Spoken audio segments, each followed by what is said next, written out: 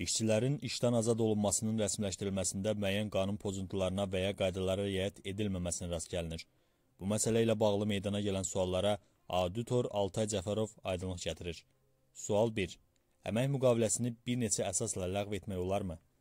Əmək Məcəlləsinin 76-cı maddəsinə əsasən 1. İşə götürən tərəfindən əmək müqaviləsində bu məcəllənin 68, 69, 70, 73, 74 və 75-ci maddələrində nəzərdə tutulan əsaslardan yalnız biri ilə xitam verilə bilər. 2. Əmək müqaviləsinə eyni zamanda 2 və daha artıq əsasla, həmçinin qanunvericiliklə nəzərdə tutulmayan əsasla, habelə bu məcəllə ilə müəyyən edilmiş əmək müqaviləsinin ləğv edilməsi qaydalarına əməl olunmadan xitam verilə bilməz. Deməli, işçi ilə bağlanılmış əmək müqaviləsinə xitam verilməsi üçün bir neçə səbəb olarsa, müqaviləyə bunun ancaq biri ilə xitam verilməlidir.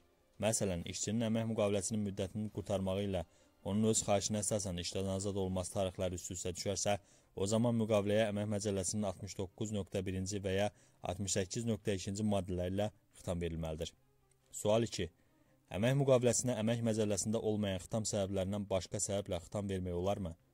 Əmək Məcəlləsinin 75-ci maddəsinə əsasən bu məcəllədə nəzərdə tutulmayan, qanunvericiliyə zidd olmayan amma əmək müqaviləsində qeyd edilmiş əsaslarla işçini işdən azad etmək olar.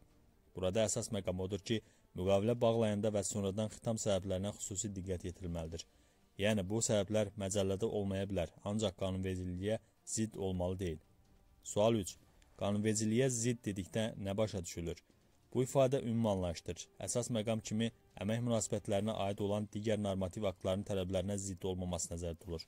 Yəni, işçi işə götürən arasında əsas münasibətlər əmək müqaviləsinə görə tənzimlənir və əmək münasibətləri də əmək qanunvericiliyinə aid olan normativ aktlarla müəyyənləşdirilir. Sual 4. Əmr verilmədən müqaviləni xitam etmək olarmı? Əmək Məcəlləsinin 76-cı maddəsinin ikinci cümləsində belə bir ifadə qeyd edilib.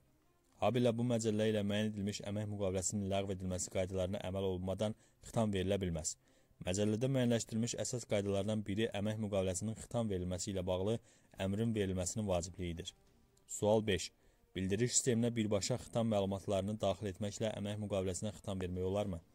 Belə bir rəsmiləşdirmə qaydalara tam ziddir. Bəzən belə düşünürlər ki, Əmək və Əhalinin Sosial Müdafiəsi Nazirliyinin əmək müqaviləsi bildiriş sisteminə məlumatların, həmçinin xitam məlumatlarının daxil edilməsi ilə birbaşa əmək müqaviləsinə xitam verilməsi tam qanuna uyğundur. Nəzərinizə çatdırım ki, bildirişin əldə olunması əmək müqaviləsi ilə bağlı bir çox hüquqların qüvvəyə minməsini təsdiqləyən addımdır. Yəni bildiriş olmadan bildirişə aid əmək münasibətlərinin hüquqi qüvvəsi yoxdur. Amma bildirişə kimi əmək məcəlləsinin digər tələbləri vardır ki, onlarsız həmin bildirişin özünün də hüquqi qüvvəsi olmur.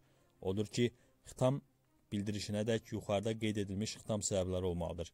Bununla bağlı müvafiq ilkin sənədləşmələr aparılmalı, əmr imzalanmalı və bundan sonra xitam Əmək və Əhalinin Sosial Müdafiəsi Nazirliyinin bildiriş sisteminə daxil edilməlidir.